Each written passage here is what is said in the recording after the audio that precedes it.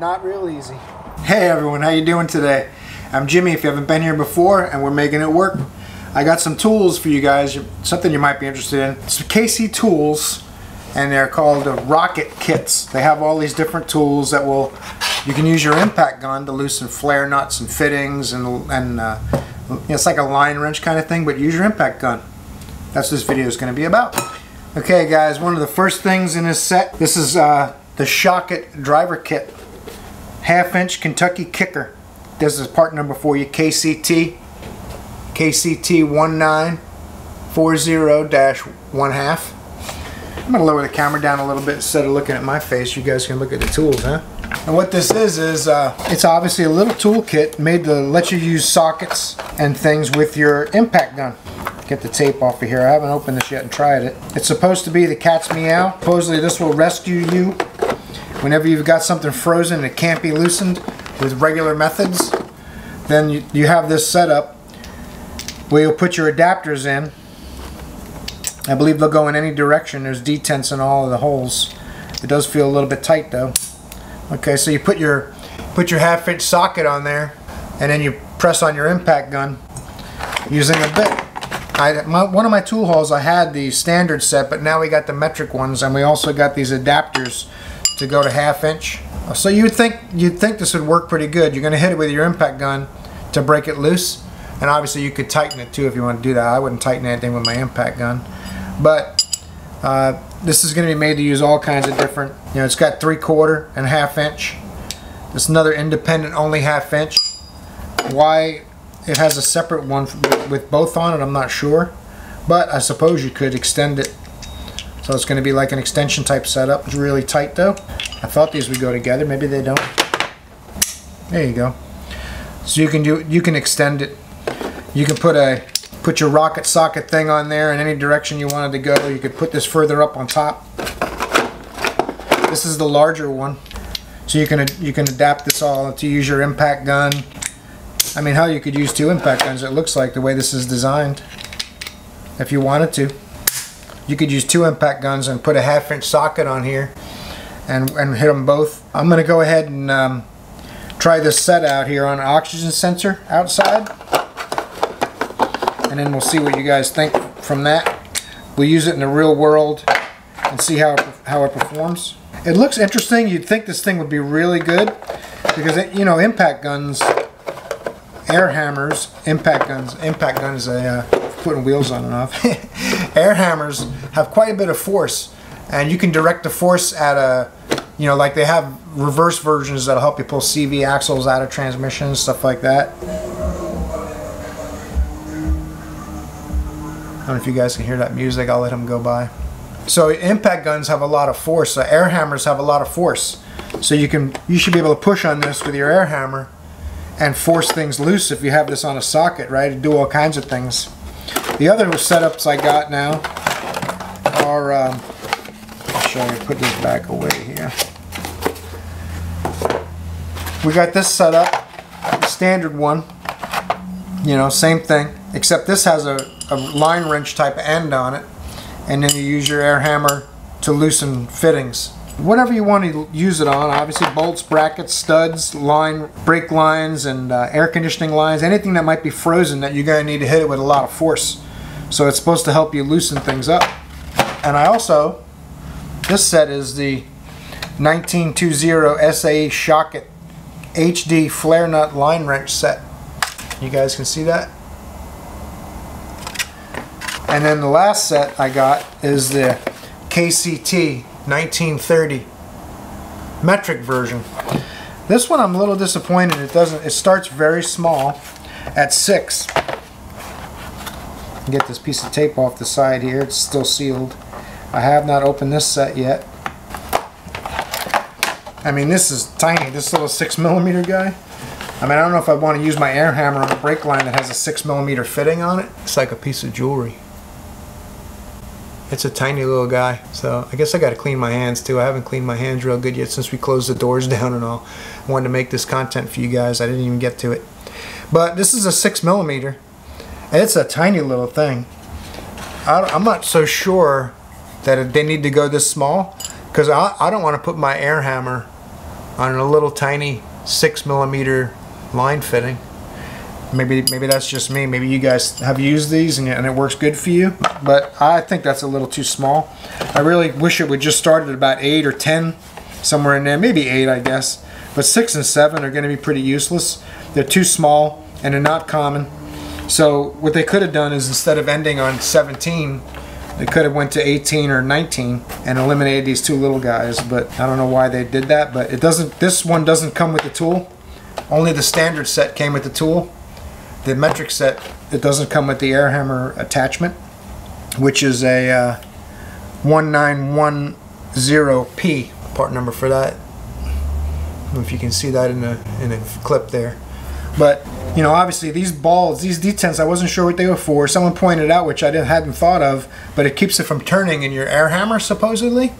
But we're gonna try it out and see what we think, see if it turns, and see how well this setup works. We're gonna try to get an oxygen sensor out of a, a Mercedes-Benz. Uh, we put a catalytic converters and uh, oxygen sensors in a Mercedes-Benz this week.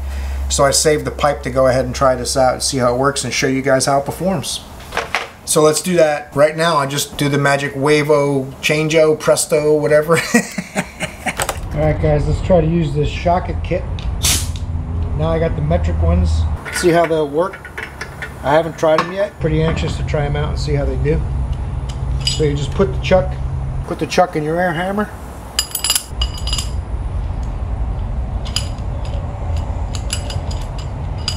It's supposed to kind of, these little indents are supposed to keep it from turning, but it seems like it still turns.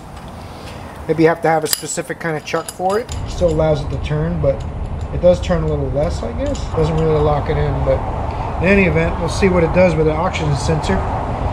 It's either going to be real easy or not.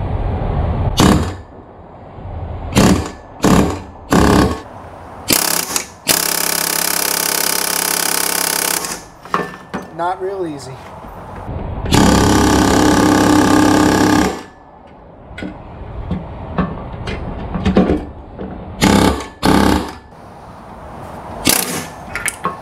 that's a, that's a shame. Let's try on. Try it on this oxygen sensor. See if it'll work here.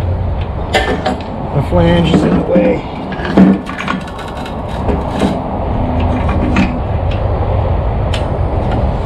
Not overly impressed so far. Let's see.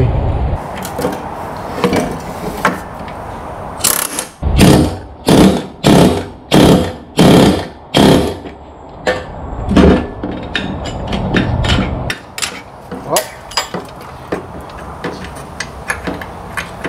I'm not. Uh, I'm not enjoying the rocket, the rocket socket kits yet. I'm gonna go ahead and get me a. Uh, I'm gonna get my regular oxygen sensor tools and see how it comes out with those. Let's try the. Uh, this is my uh, SP Tools 93750B. But what I'm gonna do is first I'll try my uh, my regular Snap-on oxygen sensor wrench and see if that works.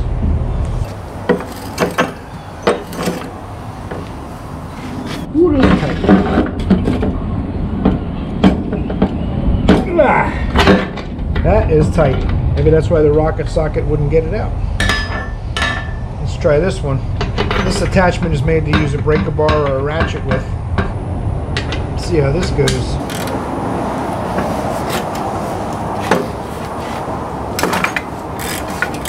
Uh-oh. Doesn't say a lot for Mr. Rocket Socket.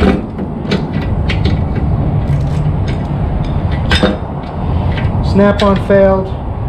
Rocket socket failed. Gear wrench and SP tools success.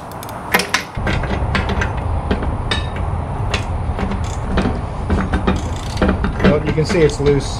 Gonna try to loosen up the other one too. That wouldn't loosen either of them, so I'm gonna try to loosen both of them with this setup. Which this one I haven't had an oxygen sensor, it wouldn't get out yet. Once in a while you have to get the torch to give it a little love, but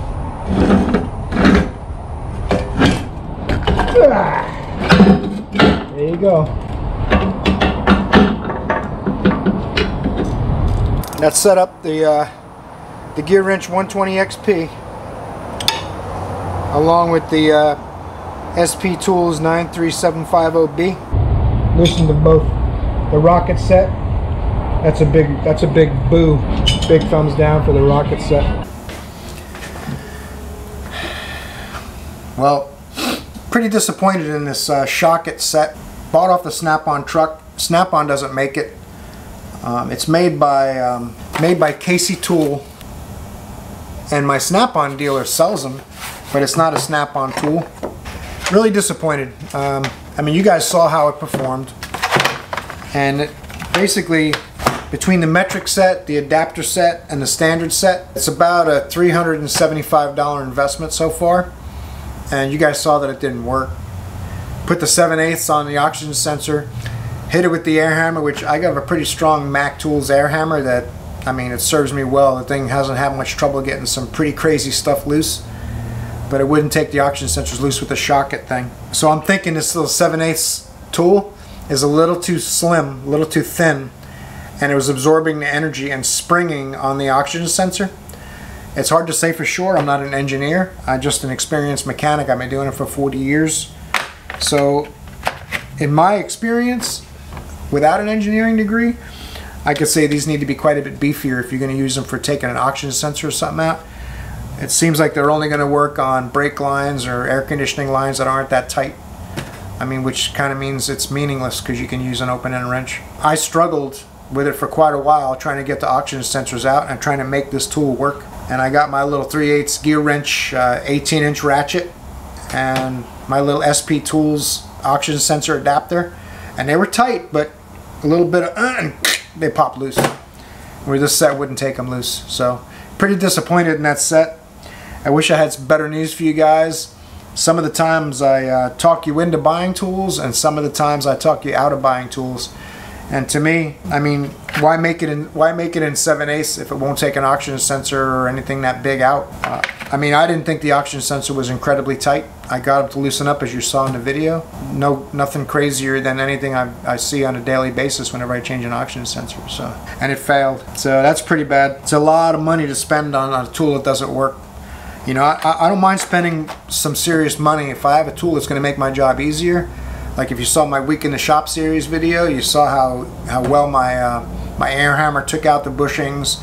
My snap-on ball joint press pressed the bushings in real nice. It worked great. So that's the kind of that's the time when you don't mind spending the extra money when something's going to make your job easier. That's what we're always searching for as as tool guys or mechanics. You know, you want something that's going to make your job easier and feel like you got value for your dollar. If you spend $10 on something and it snaps the first time you use it, you wasted $10. If you spend $500 on something and it makes your job easier and performs for you over and over again, then it's $500 well spent, right? As long as you, you'll recoup your money down the road if you use that tool often enough to justify the purchase. That's what it's really about. This is almost $400 and, and the only time I tried it, it, it failed. So, I mean, it wasn't even close to loosening that tool. I could, I could feel that 7 8 kind of springing on the oxygen sensor and not breaking it loose. And by hand, I broke it loose. So. Anyway, enough rambling about that. Pretty disappointed in this tool set. Can't give it back to them. You know, you can't make someone order your tools and then ask them to take it back. It's kind of like my little uh, Torx ball set that I bought that I found for a third of the price later on. But you just got to really do your shopping and research before you bought this set. Me and Joe looked at them and thought they looked really cool, so we were anxious to try them and see. You know, you could come across a lot of frozen AC lines, and we were hoping that air hammer was going to force that thing loose and the shock would help but I think there's just too many separate parts. Uh, it's turning out that it, it, it's just a gimmick. It doesn't really work. Too many separate parts absorbs all the energy.